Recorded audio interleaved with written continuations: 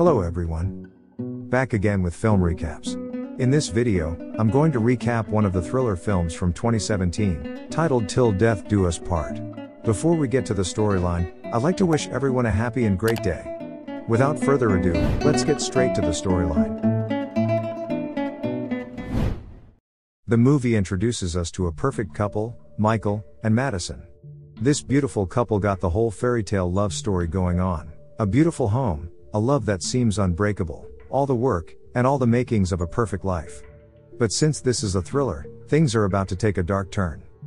After two years of marriage, Madison, who is our heroine, has this dream of starting a family with Michael.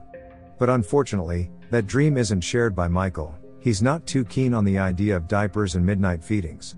In fact, when Madison brings up the whole family thing, Michael's mood takes a nosedive faster than a roller coaster. After all, children are like the best gifts of Mother Nature. Madison will frequently check her pregnancy test, but the results always disappoint her. Michael, being a good husband, will always reassure her that they have plenty of time to work on this. Well, let's step into Michael's shoes for a moment. It turns out that Mike has some real heavy baggage. This is clear in the next scene, where Mike pays a visit to his mom's grave, and has a heart to heart chat with her headstone. Both his parents passed away in the same year, but Mike's parents didn't just pass away peacefully. It was a gut wrenching tragedy, they died in a murder suicide. After visiting the cemetery, Michael gets a surprise from his wife for their anniversary. The party is also attended by Michael's coworkers and Madison's best friend, Chelsea. Here we learn that Madison has made a big decision. She finally decides to wave goodbye to her job in the hospital with Chelsea and embrace the role of a full time wife.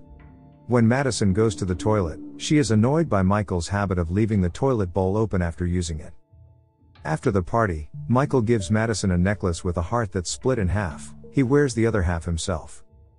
Later that evening, Michael spends time with a friend, he says that he isn't ready to have a child because he wants to focus more on his business so he can provide everything for his wife. The friend tells Michael to talk to his wife about this because she probably wants a child very much. Returning from the bar, the husband is ready to talk to his wife about this, but his wife isn't acting like she usually does. It turns out that Madison stumbles upon something that'll send shockwaves through their relationship a steroidal testosterone. Michael has been taking these things on the down low, but he's not hitting the gym with them, he's been taking them to prevent the possibility of Madison getting pregnant. As a result, Madison always thinks it's her fault that she couldn't have a baby. She calls him a liar and a coward for keeping this from her when he knew that all she wants is a child. But Michael responds that he doesn't want to have a child, and has told her that a hundred times, but she kept pushing him. Michael is trying not to explode as she lashes out at him with all the angry words, until she mentions that his dead father would have never lied to his mother like this. like this. No. He tells her that he's the man of this house, he makes the money, he makes the rules, and he'll not be disrespected here. He also warns her not to mention his father again. From that moment on, Things take a dark shift as Michael's behavior takes a violent turn. Their once perfect relationship has become a shadow of what it once was. Even small things can start a fight between them, and when it gets bad enough, Michael will treat her aggressively again. Madison, who once had dreams of starting a family, and was even willing to quit her job to become a good housewife, now finds herself in a depression state instead. One night, when the married couple attends a work event, Michael becomes jealous when he sees his wife talking with another man. Back from the party, Michael's anger spirals out of control, and he does the unthinkable. He forces himself on Madison. Fast forward a bit, and Madison's excitement takes center stage once again, as she shows Chelsea a positive pregnancy test, and the anticipation of a new chapter, a new life, fills the air.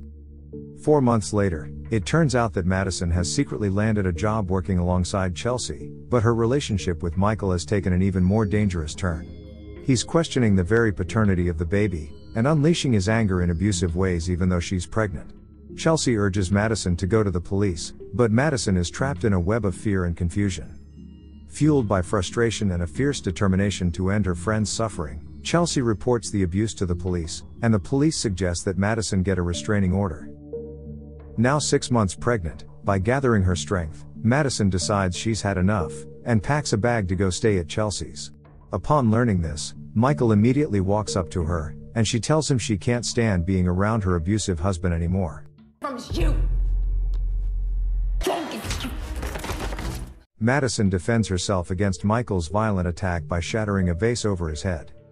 It's a critical moment of survival, and Madison seizes her chance, leaving the man alone. But just as hope starts to blossom, tragedy strikes. The doctors fight to save her, but fate has a different plan. Michael learns the devastating news. Madison suffered internal bleeding in her brain, and unfortunately, she died during surgery, and the baby couldn't be saved either. Michael is depressed and can't bring himself to look at his wife's dead body when the doctor asks. Sometime later, Michael goes to a lake to throw his wife's ashes into it. He is filled with guilt and sad about her passing. He even tries to end his life, but he can't bring himself to do it. In the next scene, the movie shows us that Madison is still alive, and shows us how she came up with a clever plan to get away. The mastermind behind it all is none other than her loyal friend, Chelsea, who works at the hospital. Together, they orchestrate an elaborate plan, including staging an accident and faking Madison's death. It's a high stakes game, and the doctor at the hospital is a hired actor.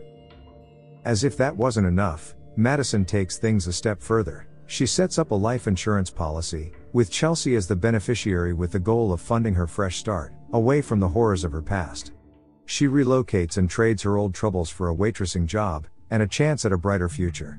To add to this, Madison decides to take on a new identity, Kate Smith, and a brand new life. But that's not all. Fate has something unexpected in store when she crosses paths with her next door neighbor, Alex. Alex is a widower, a father to a six year old daughter, Rachel, who has come to request a small donation for Rachel's school. One day, Madison catches Alex taking fruits from her tree, so she goes up to him and talks to him about it. Alex, on the other hand, responds with some jokes and is just borrowing the fruits to make a pie for his daughter.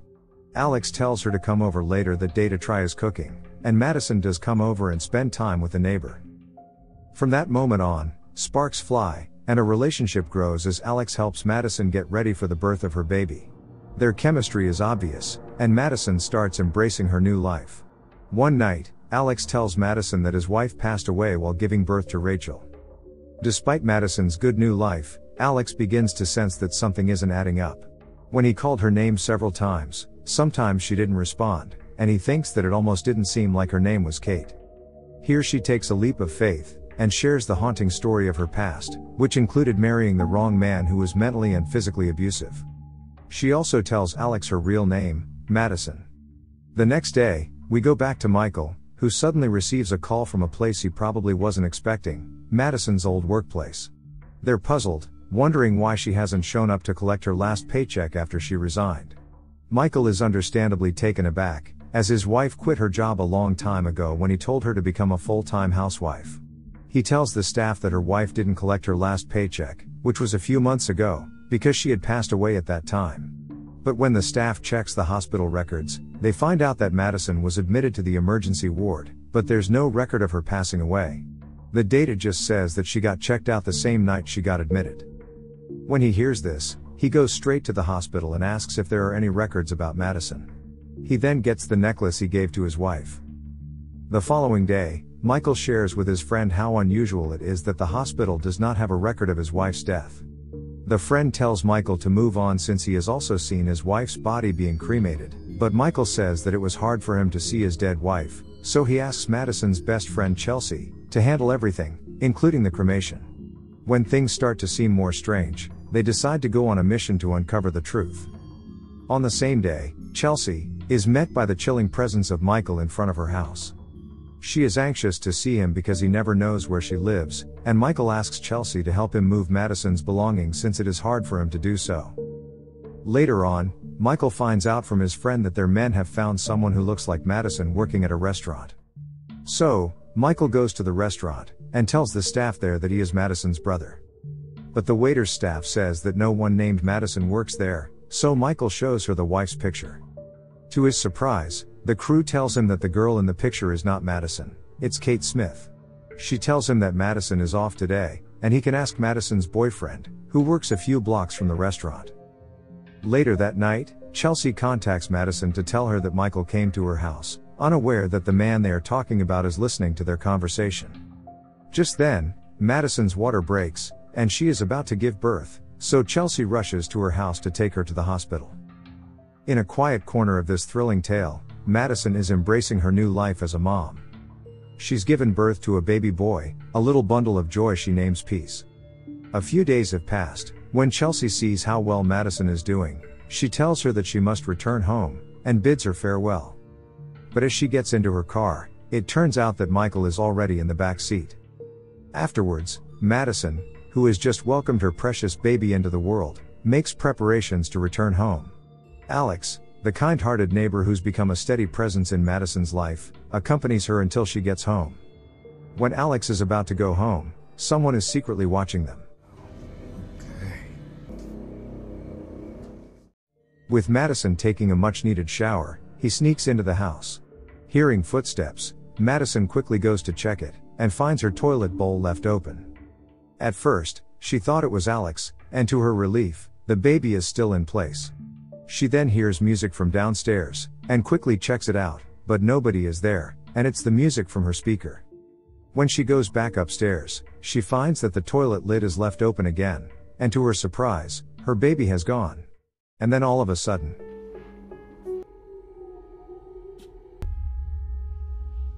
She sees the menacing figure from her past, Michael, holding her baby, so she anxiously tries to retrieve the baby. Michael slowly hands the baby back, and tells her to place him back in the cradle. He puts the necklace he gave Madison on her neck, and tells her what happens to him after she makes him think she's dead. He blamed himself every day, thinking he killed his wife and child. It hurts even more when he finds out it was just a joke that she plays with Chelsea, and learns that Madison has a boyfriend now. Michael then pulls out his pistol, right when Alex knocks on the front door. He tells Madison to open the door and not do something stupid, or he'll kill Alex. As per Michael's order, Madison goes to greet Alex, and tells him that she's not feeling well and wants some time alone. Despite his curiosity, Alex decides to just return to his house. However, just as Michael attempts to make his move, a fight breaks out between the two men, with Michael eventually winning and smashing a vase over Alex's head. As Michael begins to strangle Alex, Madison steps up to the plate, but she doesn't have the strength. However, she's not about to stand by helplessly. She tells Michael that if he kills Alex, he'll go to jail and be unable to protect her anymore. And the moment he gets close enough to touch her, Madison strikes, stabbing him with a knife she's managed to grab. But the battle is far from over. Madison seizes the handgun Michael had, and makes a desperate call for help, the sound of her voice slicing through the tension. In a life or death struggle, Michael reveals that his dad killed his mother when he was a kid and then ended his own life. In the end, Michael tells her that he loves her so much, and that if he can't have her, nobody will. In an act of self defense, Madison makes a fateful choice and kills Michael. Afterwards, we see the police arrive at the scene. Michael's reign of terror meets its end, and the weight of the world lifts from Madison's shoulders, and this is where the movie ends. Okay guys, that's all the recap of Till Death Do Us Part 2017. Thanks for watching.